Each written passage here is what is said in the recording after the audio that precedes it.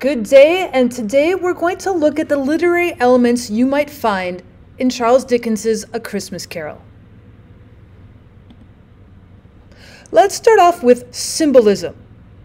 When we take a look at symbolism, we'll start looking at the characters and then perhaps some of the symbols that the characters might be contained. So we start off with Scrooge. Scrooge is going to contain the symbolism of beliefs and values of Victorian England in the 1800s.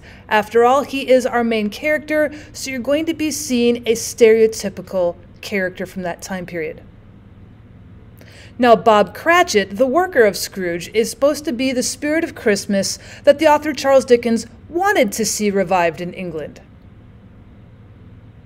Now, there's the fireplace that warms Bob, and in the fireplace itself, where we have them working together, you have this warmth felt within those who share and celebrate the season. We also have Marley's chains that we're constantly hearing in the beginning of the story, and his chains would represent the money and priorities that Marley valued in his life while he was living. Now, the ghost of Christmas present, a very Santa Claus or a Father Christmas type figure, represents Christmas joy, kindness, generosity, and peace. And when we look at the light coming from the ghost of Christmas past, we see the memories and spirit of Christmases past. But they also have the cap that is held by the ghost of Christmas past, which is going to represent greed, selfishness, and other actions that would extinguish this spirit of Christmas.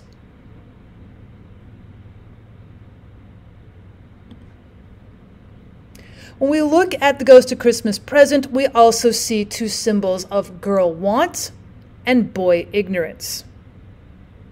Now, in Victorian times, you would see a lot of very poor uh, or wanting girls and boys. Now, that would be probably, for example, the symbol of boy ignorance, the uneducated working class factory children. And they should be feared because if they remain uneducated, perhaps the country of England would collapse. Now, we also have girl want, who would be the poor children who do not have the common necessities such as housing, food, and clothing, which at the time of writing, Charles Dickens believed was a great atrocity.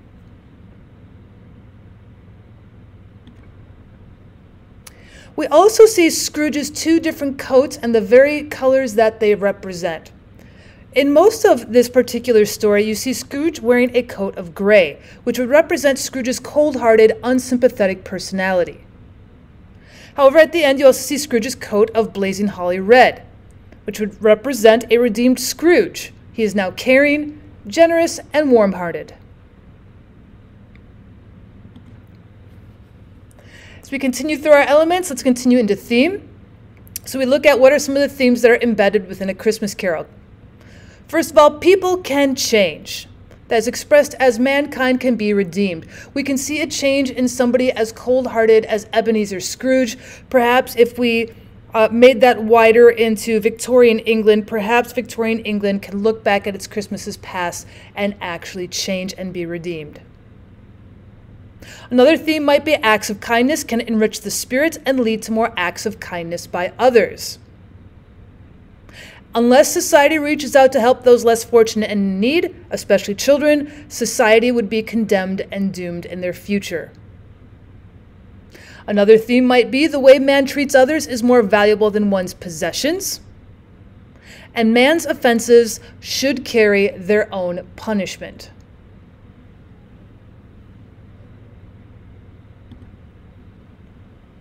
So let's take a look at some of the ways that the author characterizes Ebenezer Scrooge. If we take a look at direct characterization, we might look at the quote, Oh, but he was a tight fisted hand at the grindstone, secret, self contained, and solitary as an oyster. So we take a look at that as direct characterization of Ebenezer Scrooge. We're talking about having a tight fisted hand where he's not letting go of his possessions and not letting go of his money. And as for the character himself, he is very self contained, solitary, secret. He stays alone by himself mostly. There was a boy singing a Christmas carol at my door last night. I should like to have given him something, that's all. Now, that implies change through characters' speech. Again, when we have Scrooge talking to other characters throughout this story, we're seeing this learning process going on. It takes quite a bit of time and quite a few characters to learn, but we're going to start seeing change through the character's speech. If they rather die, they'd better do it and decrease the surplus population. Now, again, when we look at Ebenezer Scrooge, when we're looking at this idea of girl want and boy ignorance, he's not worried so much about the future and the children that are not directly his own. He tells us uh, if they would die, they'd better do it right now, that they would actually decrease the surplus population. It actually seems like for him a positive that, that you would have children dying.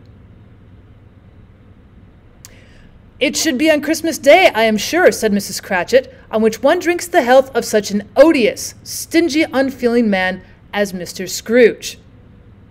With the character of Ebenezer Scrooge, we can see in the characters' uh, dialogues with one another what his character's effect does to the other characters in the story.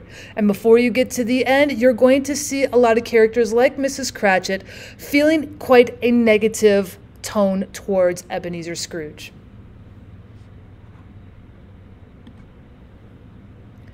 Nobody ever stopped him in the street to say with gladsome looks, My dear Scrooge, how are you? No beggars implored him to bestow a trifle. No man or woman now, or ever in his life, inquire the way to such and such a place. Again, we have people commenting on how nobody seems to care that Ebenezer Scrooge has lived and has passed on.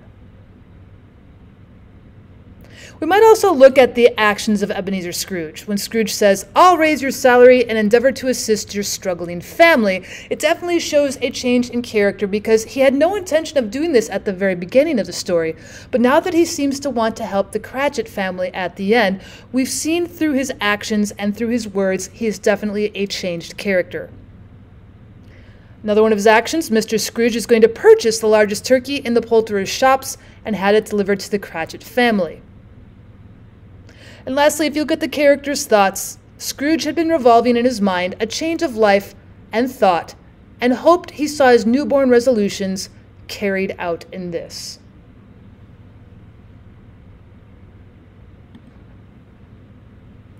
Now we take a look at some of the more minor characters, we can also see some ways that the author characterizes those characters as well.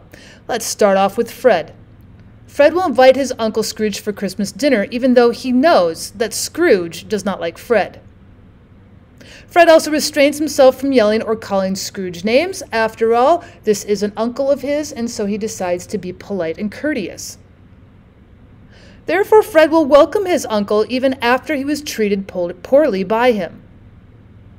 And Fred is going to see Christmas as a time where he profits in personal gratitude rather than in monetary gain.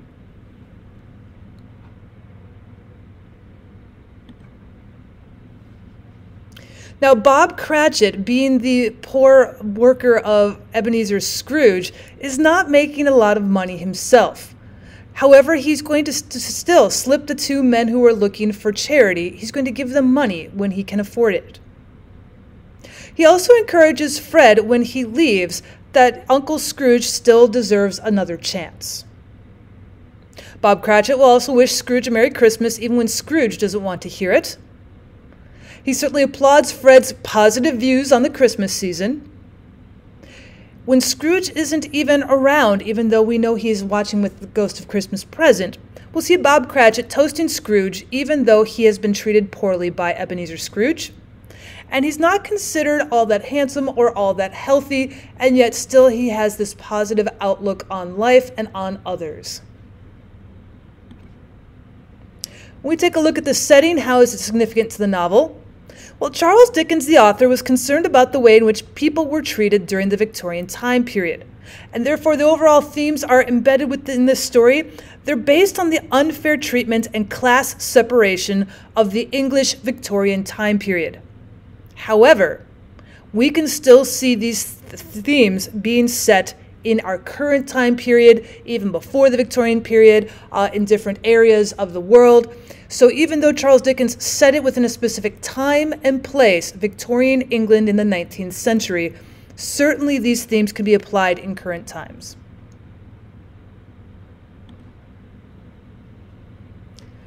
So when we take a look at the flashbacks, because we do have the ghosts of Christmas past, present, and future taking uh, Ebenezer Scrooge through the Christmas Carol, what flashback helps the reader understand why Scrooge doesn't care for his nephew? When he reveals that his sister has died, he can't quite let go of the fact that his sister is gone. And because of that pain and trauma, he can see his sister in Fred, and therefore he doesn't want to keep reliving that trauma.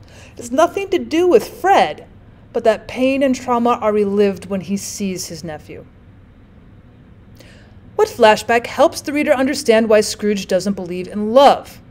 Well, Scrooge did actually, in The Ghost of Christmas Past, does have a love. And Belle, his lost love, released him to go to work.